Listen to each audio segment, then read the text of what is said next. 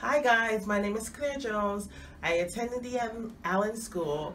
It is well worth it. I got hired at Brookdale in the WIC department intake.